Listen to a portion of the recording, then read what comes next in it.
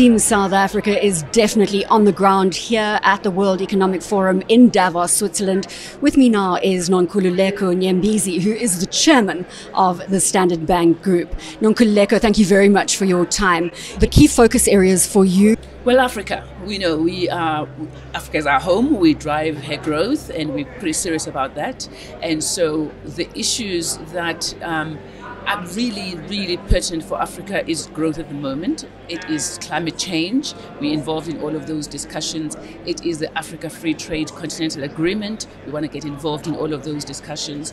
So Davos is really an opportunity to put it all together and not just go for a single issue, but see a multiplicity of stakeholders and interested parties in order to start to build um, the kind of, I, guess, wave towards where one wants to go.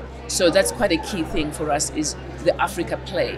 People keep saying it's the century for Africa. I really believe the 21st century has got to be that century. And if we don't make it happen, I don't think it ever will happen.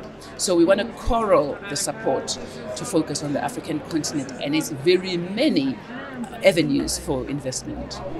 Are people open to the opportunities in South Africa despite the challenges, the well published challenges we are going through as a country at the moment?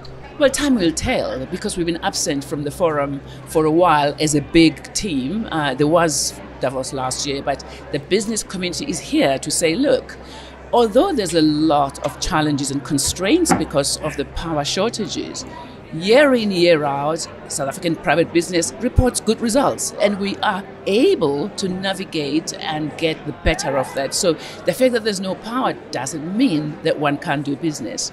It so happens that Europe itself is also having its own power outages and power issues, and so doesn't land quite as negatively as it might have landed uh, at any other time. But of course, time will tell.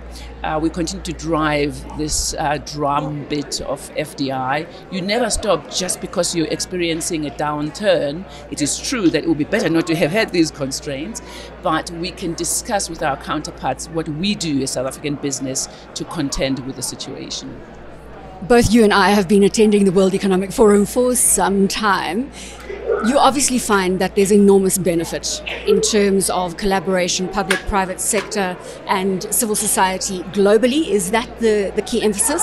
That's only one half for me. The other half is if you have an interest in a subject, at Davos, you will meet the absolute world experts talking about that subject. And so you learn in three days what would have taken you, I don't know how long, if ever, to put together that quickly because you would not have access to all of these people. You get to have Q&As with top, top minds in the world. Now, I think that is actually very, very valuable.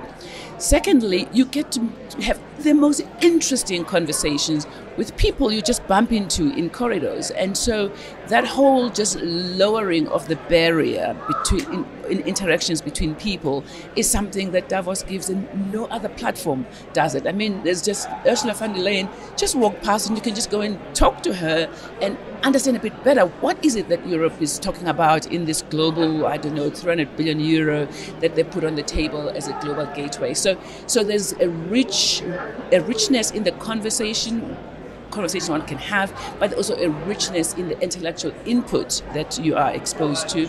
And then the cherry on top is, of course, the collaboration piece. That was Nonkululeko Nyembezi, the chairman of the Standard Bank Group, here on the ground, Davos 2023.